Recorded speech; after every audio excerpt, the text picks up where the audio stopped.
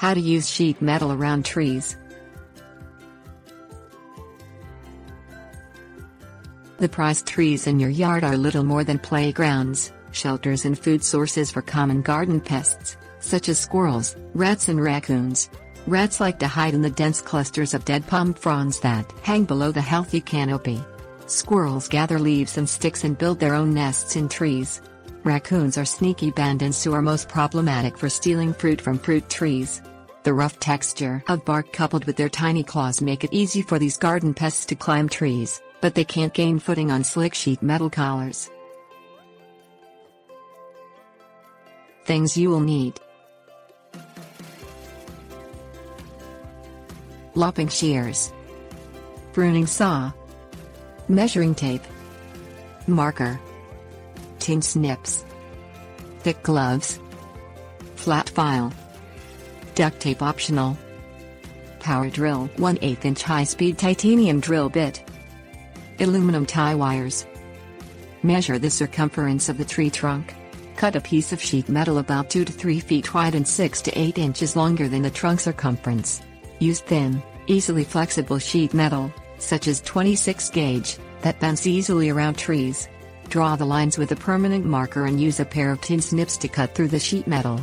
Wear thick leather gloves and long sleeves so you don't cut yourself on the sheet metal. File down the sharp sheet metal edges and round the corners, using a flat file. Cut sheet metal is razor sharp, so you might also apply duct tape to dull the edges and corners.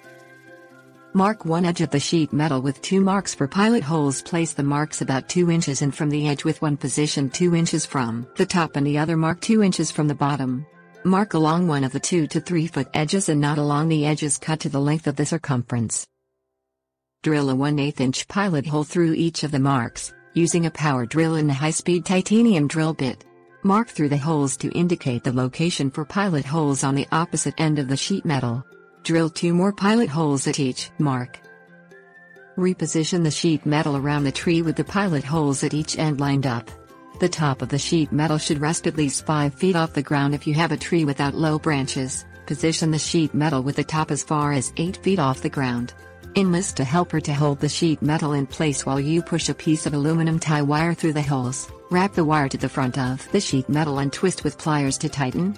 Secure the wires tightly to ensure the metal collar stays in place. This method spares you drilling damaging holes into the tree trunk. Remove the wires in the sheet metal collar as the tree trunk grows. The extra 6 to 8 inches added to the sheet metal length allows you to adjust the size of the collar rather than using a new piece of sheet metal.